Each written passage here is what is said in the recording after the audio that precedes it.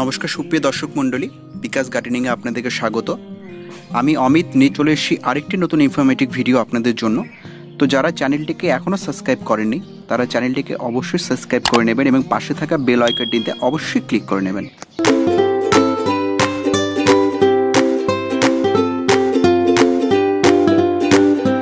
বন্ধুরা আজ আমি আমার এই ভিডিওতে আলোচনা করব নয়নতারা ফুল গাছের এমন কিছু উপকারিতা বা ঔষধি গুণাবলী সম্বন্ধে যা আপনারা আগে কখনো শোনেননি। তো বন্ধুরা, আমার এই ভিডিওতে আপনি যে দুটো ফুল দেখতে পাচ্ছেন, এটি হলো নয়নতারা ফুল। এই ফুল এখন অনেক জায়গায় অনেক নামে পরিচিত, যেমন নয়নতারা, ভিনকা ভিনকা রোজিয়া, সাদাবাহার প্যারিউইঙ্কেল বারোমাসি সাদাফুলি এরকম অনেক নামে একে বিভিন্ন জায়গায় আমরা চিনে থাকি। বন্ধুরা হতে পারে এই গাছ আপনাদের বাগানে আছে, কিন্তু এর এরকম অনেক গুণাবলী আছে যা হয়তো আপনারা জানেন না বা আগে কখনো শোনেননি। যদি এই ফুল গাছ আপনার বাগানে না থেকে থাকে, তবে অবশ্যই আজই এই ফুল গাছকে আপনার বাগানে রোপণ করুন। এই গাছের আরেকটি বৈশিষ্ট্য যেমন আমি আপনাদের একটু আগে বললাম, একে বারো মাসই এই জন্য বলা হয়ে থাকে কারণ এই ফুল গাছ অত্যন্ত কম পরিচর্যাতে আমাদের বারো মাস মানে সারা বছর আমাদের ফুল দিয়ে চলুন বন্ধুরা, এই গাছের পরিচিতি নিয়ে আমরা একটু আলোচনা করে নিই। এই গাছ মূলত অ্যাপোসিনিসি গোত্রের অন্তর্ভুক্ত এবং এর ফুল পাঁচ পাপড়ি বিশিষ্ট হয়ে থাকে। ভারতে মূলত এর দু প্রকারই ফুল পাওয়া যায়, যেটি আপনারা আপনাদের স্ক্রিনে দেখতে পাচ্ছেন, এই সাদা এবং এই গোলাপি। এই দু ধরনের ফুলই মোটামুটি এই আমাদের ভারতে পাওয়া যায়। এগুলো ছাড়াও বিজ্ঞানের আবিষ্কারের ফলে এখন এই ফুল গাছের অনেক জাত আমরা দেখে থাকি।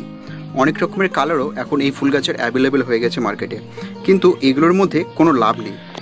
মুখ্যরূপে বলা হয়ে থাকে, এর যে ঔষধিক গুণাবলী আছে, তা শুধুমাত্র এই দুটি জাতে, এই প্রধানত এই দুটি জাতের মধ্যেই বিশেষত পাওয়া যায়। তো চলুন বন্ধুরা, আমরা আলোচনা করে নিই এই গাছের ঔষধি গুণাবলী সম্বন্ধে।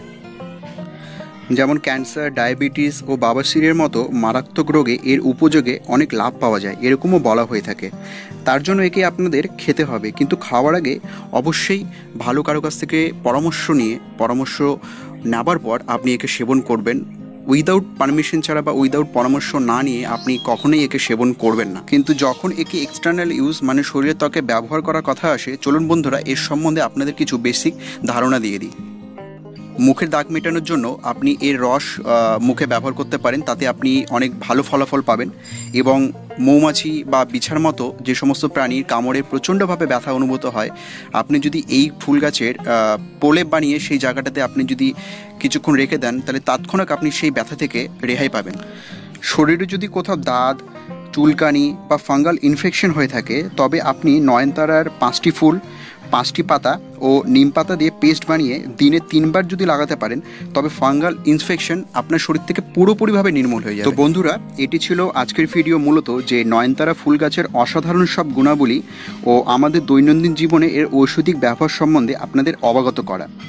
আমি আমার এই ভিডিওতে নয়নতারা ফুল গাছের শুধুমাত্র কয়েকটি ওষুধি গুণাবলী নিয়ে আলোচনা করলাম। এছাড়াও এই গাছের প্রচুর ওষুধি গুণাবলী আছে, যা আপনারা না জেনে থাকলেও এই ভিডিও দেখলে অল্প স্বল্প আপনারা জেনেই যাবেন। তো ভিডিওটি ভালো লেগে থাকলে অবশ্যই লাইক দেবেন এবং কমেন্ট করে আপনাদের মতামত প্রকাশ করবেন, কারণ আপনাদের মূল্যবান মতামত আমাদেরকে বুস্ট আপ করে নতুন নতুন ইনফরমেশন নিয়ে আপনাদের সামনে হাজির হবার জন্য। এবং চ্যানেলটি অবশ্যই সাবস্ক্রাইব করবেন। তো বন্ধুরা, আজকের মতো এতটুকুই। দেখা হচ্ছে পরবর্তী ভিডিওতে আরও নতুন কিছু ইনফরমেশন নিয়ে। ততক্ষণের জন্য ভালো থাকবেন।